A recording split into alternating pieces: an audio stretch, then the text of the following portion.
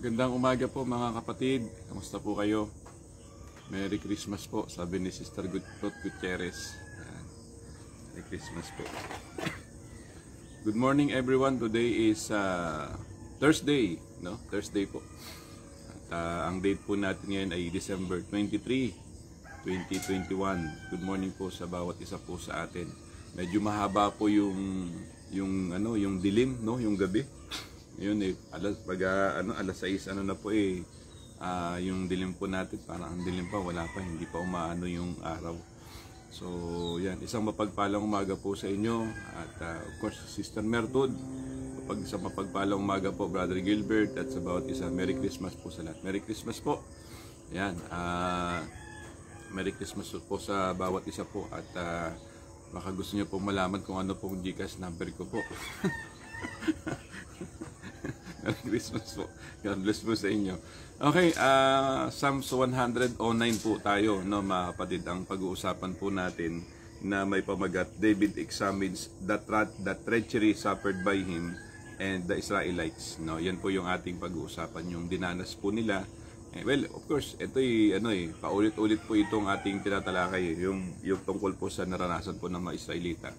Dahil alam po natin na dahil yung yung Israel po ano po ah, lagi po silang ano lag- lagi po silang sumusuong sa mga ano eh, sa mga digmaan sa mga sa mga labanan at sino kahit sino mang mga hari ang naging hari ng Israel ang dami mga bansa na ayaw sa kanila ang dami mga bansa na kumakalaban sa kanila and even until now ano po even until now, a lots of nations, they don't like uh, Israel. Hindi nila gusto. Gusto nila talagang talunin. Gusto nilang kalabanin. Gusto nilang, uh, kumbaga, bumagsak ang Israel. Pero hanggang until now, wala pong nakaka, nakakatalo at hindi pwedeng mapabagsak. Why? Dahil yan po ay, kumbaga, covenant na ng Diyos sa mga Israelita. Hanggang ngayon po ay matatag na nakatayo yan, nakatindig ah, hindi tayo magtataka dahil sa mga panahon pa lang po ng lumang tipan, eh, nangyayari na sa kanila yan. Ano po? So, yan po ang ah, ah, sinasabi po mga magulang at mga kapatid. Yan, yan po yung ating pag-uusapan. Okay, ah, good morning po sa bawat isa. Ah, gusto ko lamang pong ah, ah, patuloy na batiin ang mga may kaarawan. Sino po bang may birthday ngayon? Apo, ah, gusto ko lamang po i-announce po bago natin umpisahan po itong ating ah, ah, daily devotion, yung kalagayan po ng mga kapatid natin. Kahapon po ay ah, na nakapagpadala po tayo yung mga yung mga nagbigay po ng support. Pinadala ko po, po sa sa COC Helps ano po sa pamamagitan po ng GCash pinadala na po natin po sa kanila sabi ko ito po ay galing po sa iba't ibang mga kapatid dyan na, na tumulong na nag-response doon sa ating daily devotion sa mga kapatid po at ah, doon po sa mga ano, ah, welcome pa po sa mga support na malilikom po natin pa maipadala po. At nag ini, iniipon lang daw po nila yung mga yung mga tulong, mga support. Tapos ipapadala po 'yan sa sa Mindanao, no, mga kapatid. Sa Mindanao, sa Bohol, sa Bacolod, sa Cebu. Mga ganyan po. May marami tayong mga local. Salamat po. Marami tayong mga local churches po diyan. Salamat po muli sa inyo sa mga kapatid na nag ah, nagpadala po ng uh, tulong, pagpalain po kayo ng Panginoon. Hindi ko na po kailangan isa-isahin pa dito at magkaroon ng listahan na okay, si ganito, si ganito, si ganito. Hindi po, hindi na po kailangan po yun. At alam po ng Panginoon, kilala po kayo ng Diyos kung sino po kayo, pagpalain po kayo ng Panginoon. At at uh, kung may, may, may tutulong po ang mga iba sa atin, ma, ma, kayo po ay malaya po na makapag, ano tayo, makapag-extend po ng tulong. Dahil uh, mahaba-habang ano, talagang marami pong mga kapatid pala tayo ta- talaga diyan. Ano po, kahapon na uh, kinausap ko yung isa sa mga uh, ano nang uh, COC Helps, ano po, sila uh, Kuya Rusty at sila sila Sister uh, Gina, Gina Tangguan, sila po yan, eh, yung mga sila Brother Cow, ano po, talagang ano po, uh, ang dami pong mga kapatid tayo pala na talagang affected talaga Uh, kahit mga kababayan natin, ano, diyan po sa bandang lugar po, bundang uh, diyan sa may Siargao, diyan po sa may Mindanao. No, anyway, so salamat, panalangin natin na sila po ay makabangon muli. At uh, ngayon parang meron na naman yatang bagyo na nagbabadya, no, mga kapatid. Eh, ganun pa man, ang Panginoon ay napakabuti. Ah, alam natin na ah, hindi sila pababayaan, hindi sila pagkukulangin. Gagamit ang Diyos ng tao para suportahan at para bigyan ng tulong ang mga kababayan natin. Okay, salamat po sa inyo mga kapatid. Pagpalain po kayo ng Panginoon. Okay po, ngayon po tuloy po natin yung ating ah, talakayan dito po sa Psalms 109 may na may pamagat na David examines the treachery suffered by him and the Israelites. Yan po yung ating pag-uusapan sa umagang ito. At uh, pakipakishare lamang po itong video natin mga kapatid ha. Pashare lamang po ito para sa mga kapatiran po natin, sa mga kakilala nyo po, sa mga kaibigan, ano po, ah yan para po maano po natin, may share po natin sa kanila. Sige, tayo po muna ay mag-ukol po ng panalangin. Ama naming Diyos na banal, dakila at makapangyarihan sa lahat. Nagpapasalamat po Panginoon kami sa napakagandang araw at panahon na pinagkaloob mo sa amin.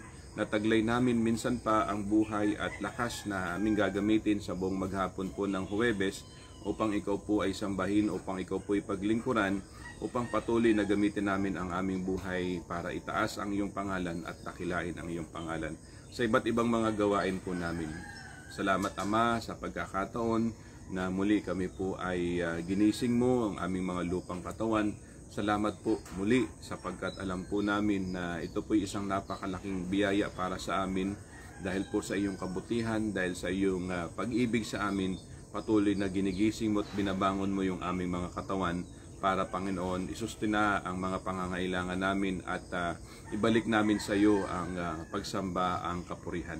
Sa oras na ito, minsan pa panalangin namin na anuman mga bagay na nakita mong nagawa namin, patawarin mo po kami sa aming mga pagkakasala, sa pagsalangsang po namin sa iyong banal na kautusan, na hindi po kami magkaminsan tumalima at sa oras na ito, handa po ang aming bawat puso upang magpalinis sa iyong pangalan, sa iyong kapangyarihan, na may upang kami po ay maging karapat dapat sa iyong banal na harapan. Salamat po sa iyong kabutihan sa amin, na ikaw po ay hindi nagsasawa na kami po ay patawarin na sa mga humihingi ng tawad sa iyo. Salamat sa iyong pagkabutihan.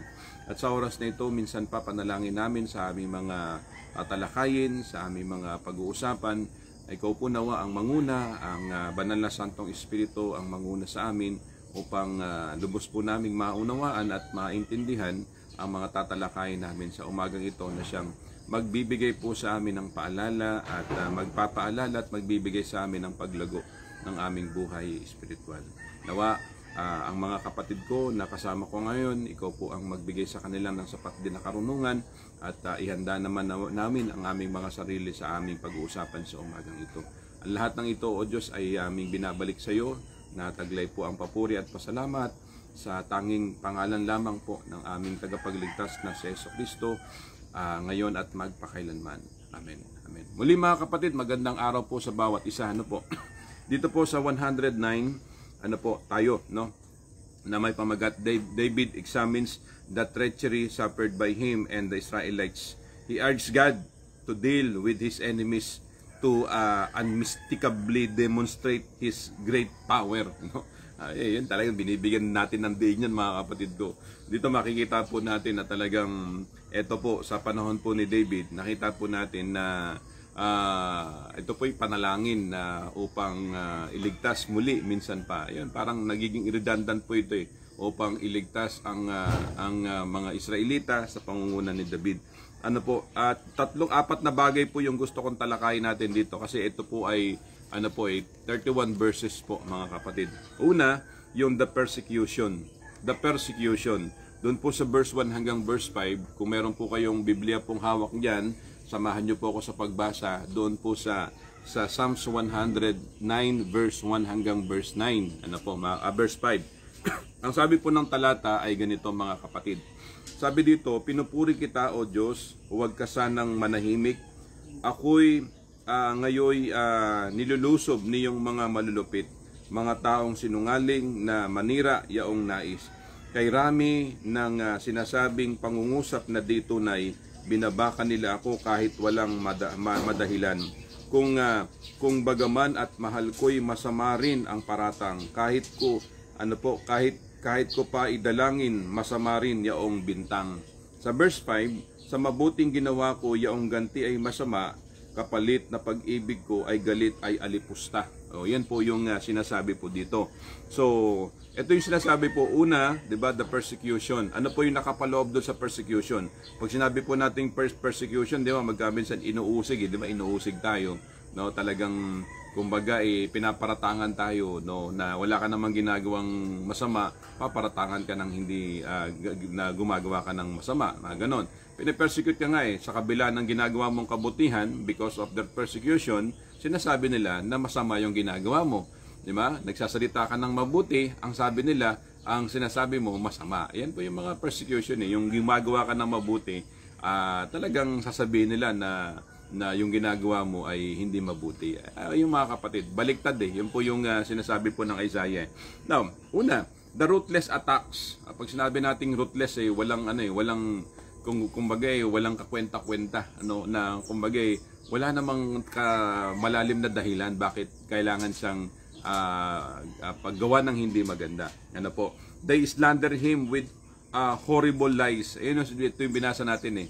They slander him ano po, with horrible lies. They use uh, hateful words and fight against him for no reason. That is that is why ano po, yung sinasabi dito, the ruthless attacks, mga kapatid ko. Ay isipin mo 'yon, ano? Nagagalit sila kay kay David, nagagalit sila dito sa sa mga naglilingkod sa Diyos. Nagagalit sila at nagsasalita sila ng mga bagay na hindi magaganda, no, na maang na maaanghang na salita, mga kapatid ko. Nasabi doon with no reason at all, ha? with no reason at all. Wala naman na, wala namang kadadahilan-dahilan ay patuloy silang nagsasal, nagsasalita ng mga bagay na hindi maganda. So, ito yung magkaminsan sa buhay natin bilang mga Kristiyano. Ganyan po ang ano natin eh, 'di ba? May mga na-encounter tayong mga ganyang mga tao eh, no? Kung kahit na tandaan natin, kapag ang tao ay ayaw sa iyo, huwag ka na mag-expect mag-expect na na siya ay matutuwa pa sa ginagawa mo. Uh, ayaw niya sa iyo eh. Diba? Ganun naman eh. Kapag ayaw ng tao sa iyo, huwag ka na mag-expect na matutuwa siya sa ginagawa mo. Ano, ganun po, kahit nasabihin mong tama yung ginagawa mo sa iba, pero dahil sa ayaw niya sa iyo, lagit lagi yan, lagit lagi na yung ginagawa mo sa kanyang paningin, masama yun. Dahil ayaw niya nga sa iyo. Huwag ka na mag-expect. Eh, ganun po yung sinasabi po niyan. Huwag ka na mag-expect. Kaaway nga eh. Ano pa bang ano pa bang uh, ano pa bang aasahan mo doon sa ayaw sa iyo? Against nga sa iyo, eh. ano pa bang aasahan mo diyan? Ang mahalaga lang po dito, against man sila o hindi sila against sa iyo, gawin natin yung nararapat na talagang dapat sa ikalulugod ng Panginoon at kaluluwalhati ng Diyos. Ganun lang po mga kapatid. Uh, huwag tayong aasa doon sa mga sa mga sa mga taong ayaw sa atin na asahan pa natin na 'di ba, yung magtatalong ka diyan or mag uh, mag uh, magwala ka diyan na magdamdam ka diyan ayaw nga sa iyo eh. Kahit na sampung kapag taang tao ay ayaw sa iyo kahit na sampung mabuti ang nagawa mo ano po at meron at meron makikita po yan. Ang mali mo labing isa. Mga kapatid. Sampu yung ginawa mong kabutihan ano po sa kanyang paningin ang mali mo labing isa. Ay ganun talaga ang buhay. Pero hindi doon hindi doon mga kapatid eh. hindi yun ang dapat tignan natin eh Uh, kasi sabi nga din, ito lagi natin pinapaulit-ulit, we cannot please everybody. We cannot please everyone. Lahat tayo nangagkulang, lahat tayo nagkamali. Ano po, wag nating aksayin yung panahon po natin na na para matuwa yung mga tao sa ginagawa natin. Parang sabi natin, I don't care kung ayaw mo sa ginagawa ko, basta for as long as na nakikita ko at alam ko sa sarili ko na tama ang ginagawa ko at nakakapagbigay ako ng kaluwalhatian sa Panginoon, gagawin ko yun. Kasi hindi natin pwedeng maplis ang tao. No, kanya may kanya-kanya tayong pamantayan. Meron pong mga tao po na matataas ang standard. O di mataas ang standard mo. May mga tao po na magagaling, ano po, matataas yung mga expectation sa isang tao. Di sige, eh sana all ganun. Pero tandaan natin, hindi tayo pare-pareho. At dito kay David, ano po, walang kadahida kay dahilanan. Ano po, inaatake siya. Walang dahilan. Alam niyo sabi ng mga anong sabi ng komentaryo? Posible nga ano dahil si David maliit. Maliit na si David eh, tapos siya yung naghari. Ay ang mga Hudyo malalaki, matatangkad, matataas, matatangkad. So parang hindi nila matanggap na itong hari namin ay ang lit-lit na ito tapos ito yung hari namin. Parang 'di ba? Parang tika muna eh ang naging highlights lang naman sa ginawa niya, napatay niya si Goliath. Tapos ito, it, probably ito yung mga ito yung mga dahilan eh. Kaya ano man yung mga ginagawa ni David, matapos siyang i-anoint, matapos siyang talagang ah, ika nga eh, ah, bigyan ng karapatan para mamahala bilang hari ng Israel. Matapos nun, ang dami pa rin mga tao na talagang ayaw sa kanya. Yun lang naman po mga kapatid. Sa atin po, sa politika, ano po, sa, sim- sa simbahan, Tapin sila, tanungin kung anong dahilan, bakit ayaw nyo sa akin, tanungin. Pero dapat hindi nakukompromiso ang paggawa ng kabutihan sa harap ng Diyos. Una at higit sa lahat, ha, mga kapatid ko, paggawa ng kabutihan sa harap ng Diyos. Una at higit sa lahat. Kasi bakit po? Bakit natin nasabi? Kasi kung ikaw po'y gumagawa na walang kada-kadahilan nan, mga kapatid, sila po ay talagang ah, ay ah, ayaw sa kanya, no mga kapatid. Ano pa? They reply or they repay kindness with uh, treachery. Ano po? They return evil for good, hatred for love. Ah, ayan po yung nangyari po diyan. Ang sabi po dito mga kapatid sa verse ah, sa verse ah, 4 hanggang verse 5. Sabi dito, kung bagaman at mahal ko'y masama rin ang paratang, ano? Kahit ko pa idalangin, masama rin yaong bintang. Ano po mga kapatid? Oh, kahit na idalangin mo, masama pa yung pinagpipray mo na siya, napagpalain siya. Para ang dating sa kanya, iba pa rin. Ano? iba pa rin. Sa mabuting ginawa ko, yaong ganti ay masama. Ano? Kapa- kapalit ng pag-ibig ko ay gal- galit at alipusta. Oh, wala eh. Ayaw nga sa iyo eh. eh. Ganun talaga. Eh, Pag pinagpipray mo siya, kahit sabi mo, alam mo kapatid, pinagpipray po kita. Wala, ang dating sa kanya, eh, may mga ganyang mga tao. Ang ma- ma- mahirap silang ano, mahirap silang ah, kumbaga eh, makumbinsi ba na na ah, parang sa kanila po iliisip nila lagi nila na na may yung yung tao na kasama nila, kapatid nila, ay ini pinag-iisipan ng hindi maganda. Ay, wag ganun.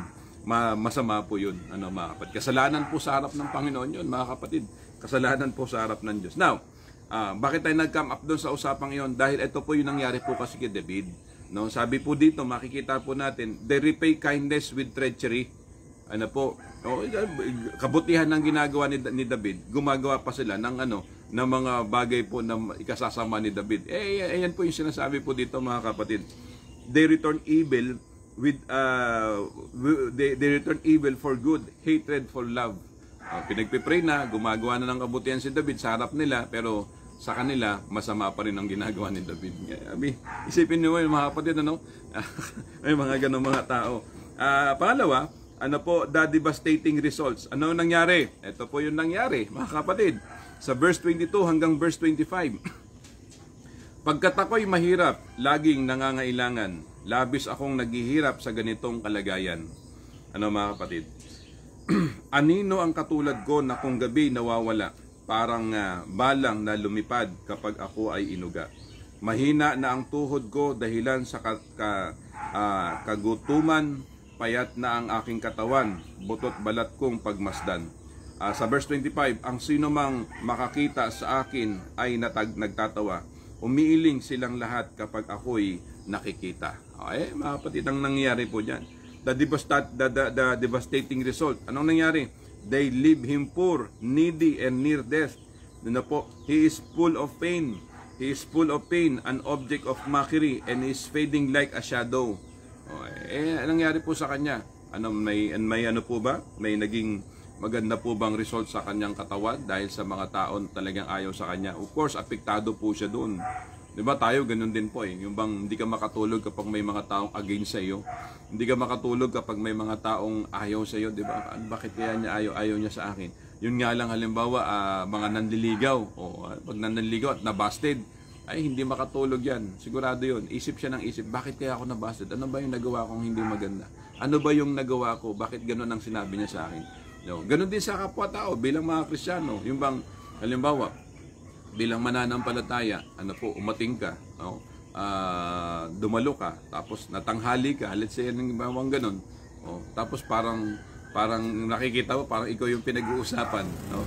Parang isipin mo, bakit kaya, ano kaya pinag-uusapan nun? At ako, narinig yung pangalan ko, ano kaya? Di ba? Parang ganun, mag-iisip ka kagad. Oh, maliban, natanungin mo anong dahilan, bakit? O, ganun din sa atin.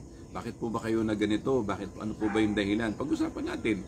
Oh, yan naman po mga kapatid. Kaya nga lagi nating sinasabi, wala pong wala, pong mabigat na problema na hindi maayos kapag nag-uusap, ano, pinag-uusapan. So ano po yung nangyari po? They leave him poor, needy and near death.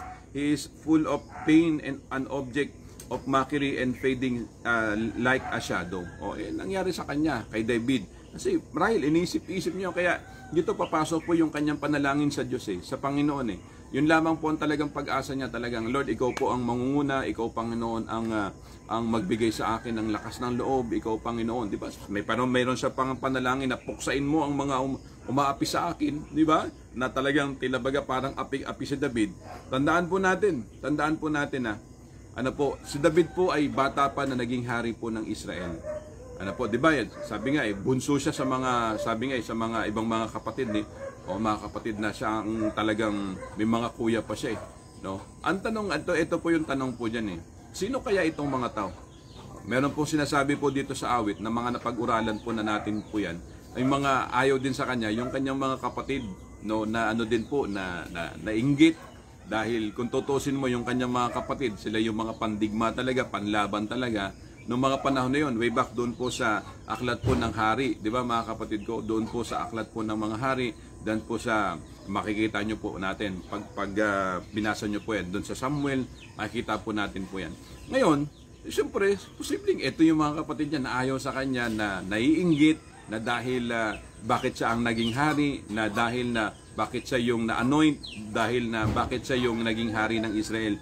So ang dami pong mga bagay na ganon. Kaya siyempre isip siya ng isip, kaya baka mga kapatid ko, ba't ayaw sa akin, bakit ganito, ang dami sinasabi. So ang Diyos ang may gusto niyan eh. Di ba? Tandaan natin, ang Diyos ang may gusto niyan. Sino ba yung tatay nila? Ano po, di ba si Jesse ang tatay po nila? Si Jesse ang tatay nila eh. Tapos ng mga panahon na yon, ang kanilang propeta walang iba kundi si Samuel. 'Di ba? Si Samuel ang propeta eh. O anong sabi ng Diyos? Kinausap niya si ang ang uh, si ano si si propeta ano sa Samuel. O ano sabi? O sige. Ganito, uh, doon sa anak ni Jesse, yon yun ang papuntay mo. Uh, ito, ito yung mga anak ni Jesse, pinahilera. Ito na po, Panginoon, ang mga anak ni Jesse. Sino po ba dyan? Nakita ng Diyos, ay, tika, meron pa ba siyang anak? Eh, kung bakit sinadya na hindi napasamahin si, si David nung mga panahon na yun kasi nagpapastol ng tupa dahil alam nila na bata pa wala pang ano wala pang kumbaga wala pang uh, karanasan sa pakikipagdigma at itong mga kapatid niya may karanasan sa pakikipagdigma. Hindi ba ang trabaho niya maliban doon sa pag-aalaga ng, ng mga tupa maliban doon sa kanyang pag, pagtugtog ano po di ba ang trabaho niya rin sa bahay nila naghahatid din po siya ng pagkain sa mga kapatid niya na nakikipaglaban? Yan ang trabaho niya eh. Mga kapatid then kaya, ang sabi ni Samuel, eh, meron, tinanong niya yung ano, yung tatay, meron pa ba kayong anak? Ay, meron pa akong anak, ano, nag-aalaga ng ano, ng, ng mga tupa, nag nagpapastol. Eh, wag na yun, bata pa yun eh. Kumbaga, ang iniisip nung, nung, nung Jesse, yung tatay nila, wala na, wala na, hindi, hindi, ano yun, hindi bihasa sa laban yun. Oh, eh, anong nangyari? Ang ine-expect po ng tatay, kukuha at hahanap, ano po, ng uh, magiging, uh, ika nga eh, magiging uh, kalaban ni, uh, ni uh, ni Goliath ay doon within doon sa ano, doon sa ang kani ano, doon sa mga anak ni Jesse. Eh ano, nangyari? Awkward eh. Alam niyo magkaminsan ang pagkilos ng Panginoon, magkaminsan iba doon sa inaasahan ng tao eh. 'Di ba? Inaasahan posible na inaasahan din ni Samuel dahil sa po yung propeta no yon, noong time noong time na yon. Inaasahan din po ni Jesse dahil sa yung tatay, kilala niya kung sino talaga yung matatapang doon sa mga anak niya. Ito yung mga matatapang kong anak na ito talaga yung pandigma na pwedeng panlaban diyan kay Goliath. Pero sabi ko nga, iba yung kilos at iba yung gawain ng Diyos sa isip natin at gawain natin. Awkward eh. Isipin mo yun. Eh, ano sabi ng Panginoon? Tawagin mo yung isang anak. O, tinawag si, ano, si, si David. Ang liit. Siguro wala pang kalaman-laman yung katawan. Walang muscle. Maliban sa mga kuya na malalaki, na pandigma talaga. Mga kapatid, siya nag-aalaga lang ng tupa. Dala-dala siguro yung harp or yung kung ano, yung lira or kung ano man yung dala niya. O gitara sa panahon natin ngayon para ma, ma, magets natin yung point. May siguro may gitara siyang dala, ano, o kaya may flute siyang dala, ano, mga ganun. Dala-dala niya yon uh, para lang makita natin. Of course, ang dala usually yung, yung harp or lyre, uh, kapatid. So pagdating siguro, eh, isa mo, bata, bata pa. Oh, ano sabi ng Diyos? Pinahilera. Oh, anak, yan po, ito po, isa ko pang anak. Oh, ito po isa ko pang anak, sabi ni Jesse. Ano sabi ng ano? Ano sabi ng Diyos kay Samuel? Yan, siya. Siya ang napili ko. Ano po? Among them, siya ang napili ko. Among them, siya ang napili ko. Eh parang, di ba, nagulat ang lahat. Ikaw siya yung napili. Oh, di ba? Pati posible, probably si, Samuel nagulat din, siya napili. Oh, oh ano nangyari po? Bagat magaman, bata pa siya, siya ang napili, nagtagumpay ba o natalo? Nagtagumpay si David against doon sa pinakamalaking uh, mandirigma ng ng ng ng, ng Palestine, ng, ng Palestine na si walang iba kundi si, si Goliath. So, ang ang ibig ko lang sabihin mga kapatid, ang pagkilos ng Diyos ay iba sa pagkilos natin. Marahil parang tataas ang kilay natin, Lord, ang late yan, walang ano yan eh, Panginoon eh. Hindi niya kaya eh. Pero pag sinabi ng Panginoon, I will use Him. I will use Him. I will use Him. I will enlighten him. I will I will I will uh, I will give him power, ano? I will strengthen him. Palalakasin ko siya, pagaganahin kong isip niya, palalakasin ko siya, pagagalingin ko siya, kahit na bata pa yan, gagamitin ko siya. Ano nangyari po? No? O, nangyari, si David po ang nanalo. So, ang ibig ko sabihin, nung siya po'y naging hari na, naging hanap na hari, andun pa rin yung mga, probably yung mga, mga kapatid niya na ayaw sa kanya, at probably ito naiingit sa kanya. Dagdag mo pa yung ibang mga sundalo pa ng Israel.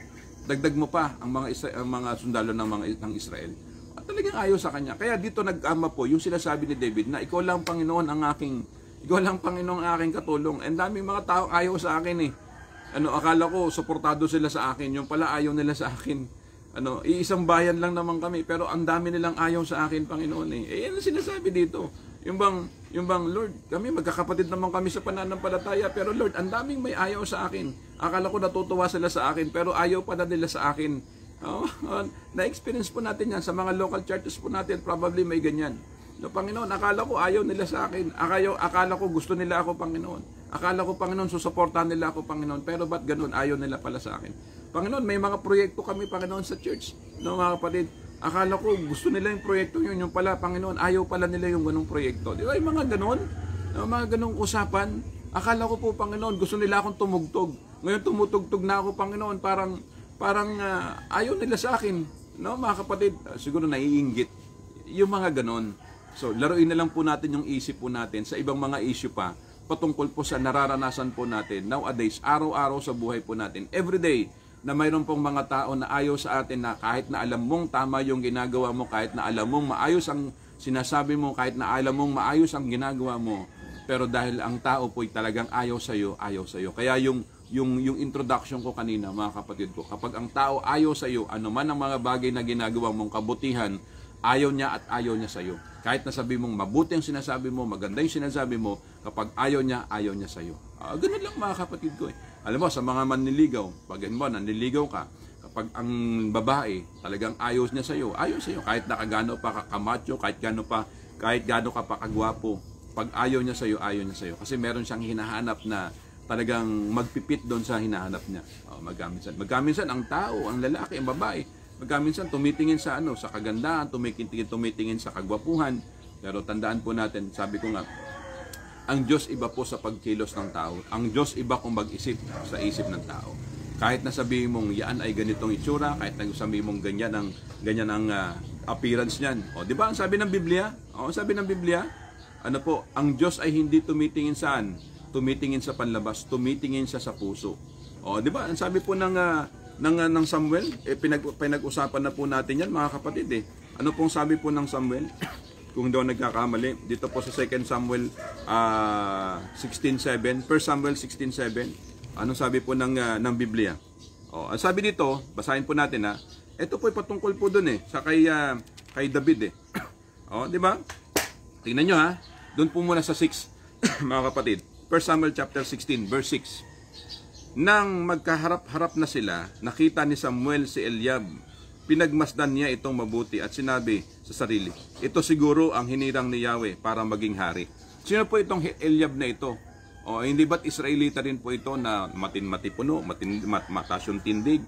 Ano sabi dito? Kapatid din po ni, ni, ni David. Ano sabi dito? Ngunit sinabi sa kanya ni Yahweh, huwag mong tignan ang kanyang taas at kakisigan. Hindi siya ang hinirang ko. Ang batayan ko ay di tulad ng batayan ng tao. O, di ba, mga kapatid? Panlabas na anyo ang tinitignan ng tao, ngunit puso ang tinitignan ko. O, see? Nakita po natin? Ang tanong, is it biblical? Yes, it is. It is biblical. Ang sabi po ng 1 Samuel chapter 16, verse 6 hanggang verse 7.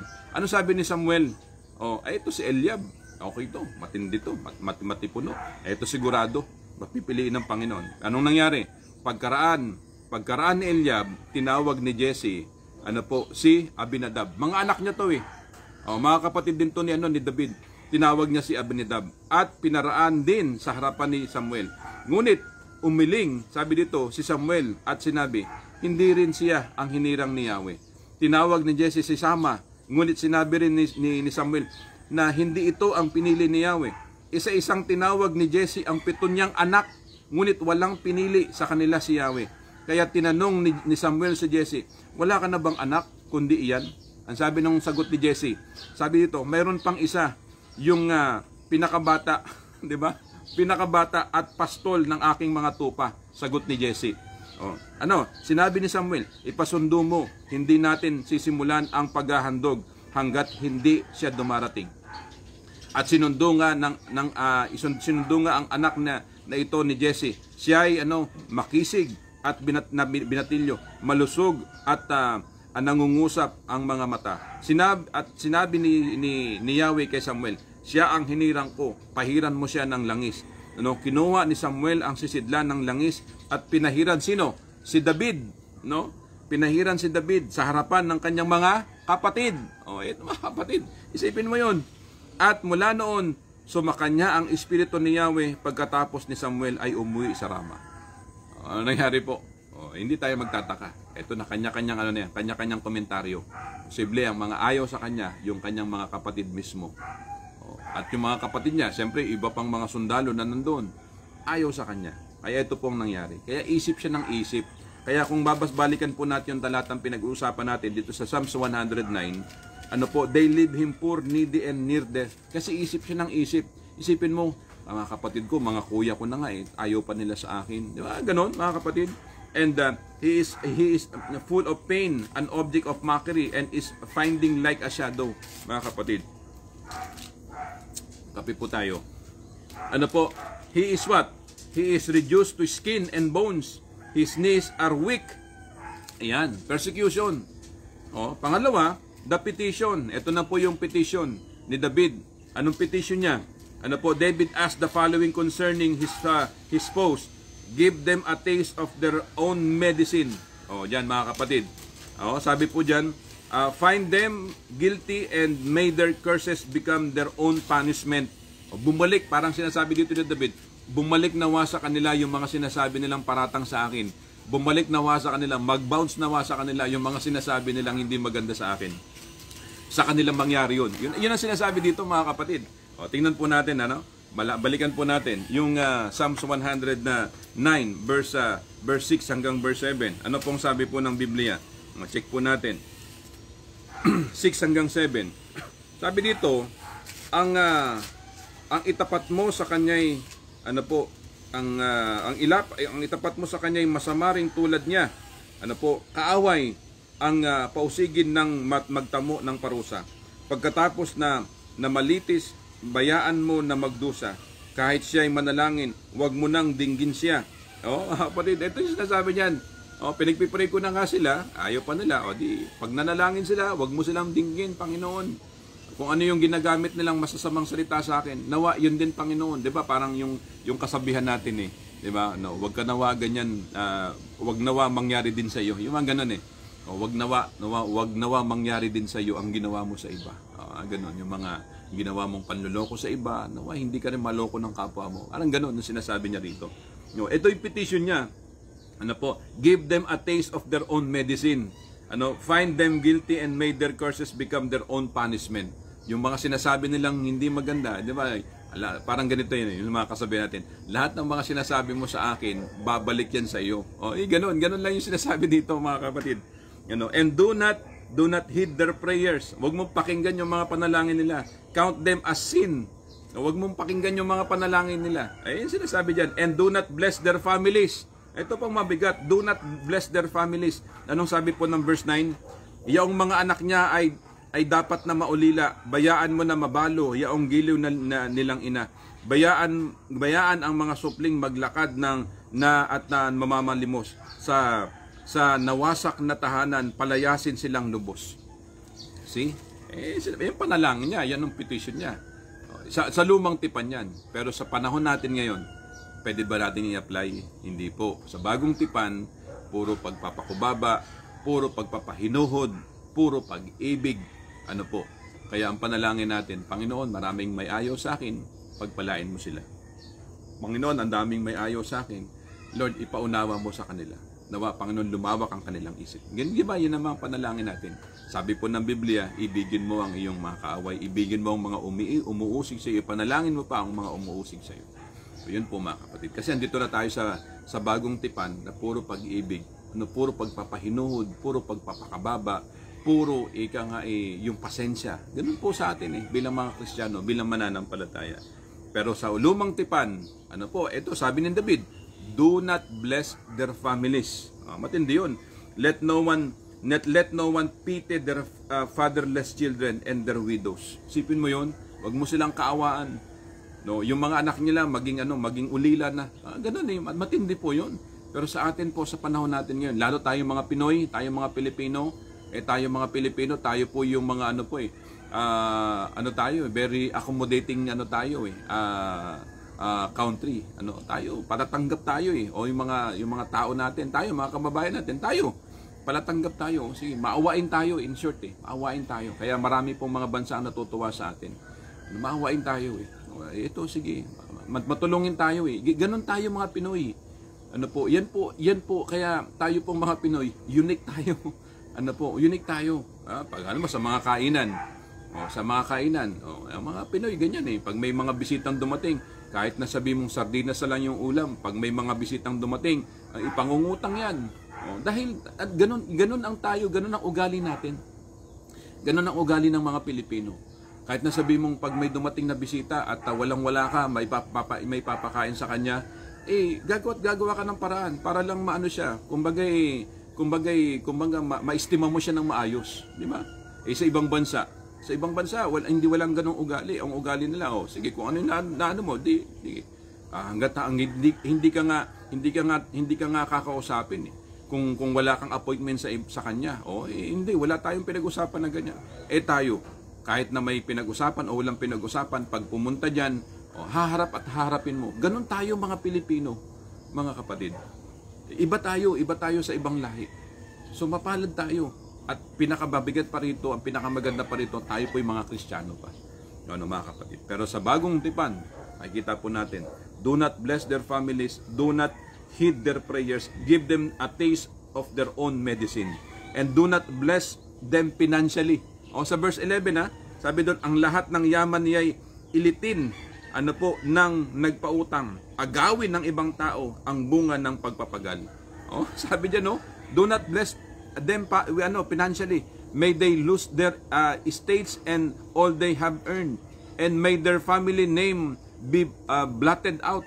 Cut their family names off from memory. Oh, ay, mabigat yung panalangin dito, no? Itutuloy po natin ito bukas. Ang sabi po ng verse uh, 11, di ba mga kapatid, sa verse 12, uh, 13, sabi dito, yung ang kanya'y, ang ngayong ang kanya't lahi ay bayaang mga matay sa sunod na lahi niya, ngalan niya ay maparam. Parang sinasabi na, uh, burahin mo na, burahin mo na sa ano eh, parang burahin mo na sa sa NSO, burahin mo na sa sa listahan ng mga ano, ng mga sa census, di ba? Burahin mo na, ma, wala na yung ma, maubos na yung lahi. Eh, eh mabigat po 'yun. Ano ano bang ano ngayon, di ba? PSA. No, burahin mo na yung pangalan nila doon. O yung lahi niya mawala na 'yun. Mabigat po 'yun. Ganun po kasi sila sa, sa lumang tipan. Pero sa atin, sa bagong tipan, sa panahon natin ngayon, in as much na talagang magagawa natin na Panginoon, panalangin ko na pagpalain mo ang mga taong itong umuusig sa akin, gagawin natin.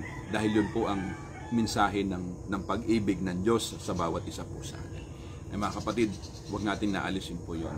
Manalangin tayo, ipanalangin natin ang mga taong ayaw sa atin, ipanalangin natin ang mga taong nagsasalita ng mga bagay na hindi maganda para sa atin sapagkat iyon po ang tatak ng pagiging totoo at ganap na isang Kristiyano na umiibig sa Panginoon na niligtas sa biyaya ng Panginoon.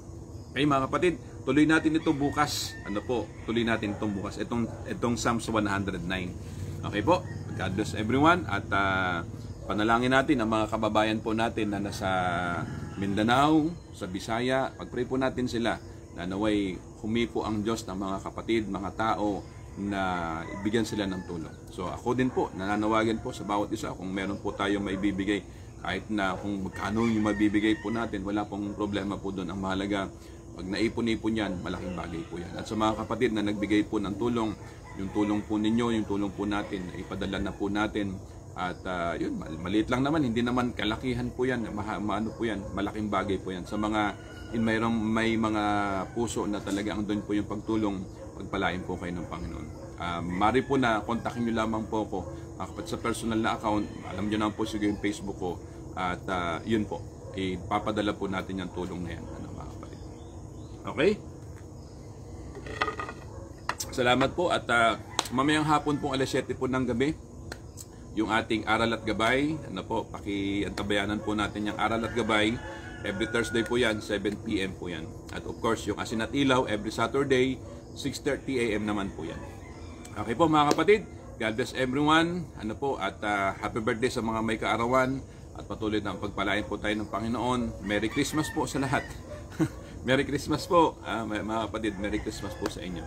Tayo po'y manalangin. Ama naming Diyos na buhay, dakilat makapangyarihan ka sa lahat. Nagpapasalamat po kami sa umagang ito na kami po'y nakapaglingkod sa iyo sa pamamagitan ng live streaming sa Facebook.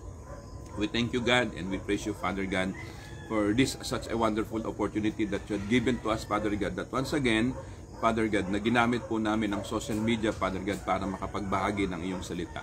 Salamat po sa mga tinalakay po namin na ito po ay nagbigay po sa amin ng enlightenment, nagbigay po sa amin ng pampagising sa aming mga sa aming mga puso at isip. Panginoon na talagang tunay, Panginoon na may mga tao talaga na ano man ang gawin namin, may mga tao talaga na ayaw sa amin. Lord, totoo po ang kasabihan that we cannot please everyone. Talagang yun po yun. Ang mahalaga, Panginoon, ikaw po, Panginoon, ay uh, uh, uh, gusto po namin i-please sa mga bagay na ginagawa po namin. At kung ano man, Panginoon, ang nagawa po namin mga bagay na mali, Lord, patawarin mo kami, linisin mo ang aming mga puso, linisin mo ang aming mga puso at isip upang kami po'y dapat, maging dapat sa iyong harapan. Once again, Lord, uh, we would like to, to, to pray, Father God, ilapit, Panginoon, sa iyo uh, ang mga kababayan namin na sa ibang bansa, mga kapatid po namin na nagtatrabaho sa ibang bansa. Pagpalain mo, ingatan mo sila. At uh, ganun din ang mga kababayan namin dito sa Pilipinas, bandyan po Panginoon sa, sa Mindanao, sa, sa Cebu, sa Kabisayahan, na talagang affected po Panginoon ng bagyong Odette itong mga nakaraang mga araw. Lord, in Jesus' name, Lord, uh, patuloy na naway makabagon, makabangon po sila uli, makapag-umpisa muli, at mangyayari lamang po Panginoon yon kung kami pong lahat ay magtutulong-tulong. Panginoon, kung uh, tulungan namin sila na talagang umu- tumaas uli, makapag-umpisa uli, at higit sa lahat, ang iyong kapilya, ang iyong iglesia sa lugar po, Panginoon, ng mga nasalanta ng bagyo. I believe, Father God, sila po ay makakaawon uli. Dahil iyan po, Panginoon, ang, uh, ang uh, pag-asa namin dahil ikaw po ang siyang tumutulong sa bawat isa. Nawa, Panginoon, ang mga kapatid, magbayanihan po kami, magtulungan po kami. At sa mga kapatid na nagbigay na ng tulong, Lord, alam po, kilala mo sila, pagpalain mo sila, balik mo sa kanila ang mga pagpapala at Panginoon, naway gabayan mo sila at anuman Panginoon ang mga ginagawa namin, ingatan mo kami sa lahat ng mga bagay. Lord, sa ngayon po Panginoon, uh, ito lamang Panginoon ang may tutulong namin. Kung meron po kaming mga konting halaga na mapapagtulong-tulungan namin, Lord, malaking bagay po ito sa kanila. At higit sa lahat, sa panalangin, Panginoon, ingatan mo ang mga bata, ang mga batang affected, nawalan ng, nawalan ng mga bahay, Panginoon, ang mga nawalan po ng mga magulang na namatayan. Lord, in Jesus' name, tulungan mo sila. Ikaw po ang mangusap sa kanila.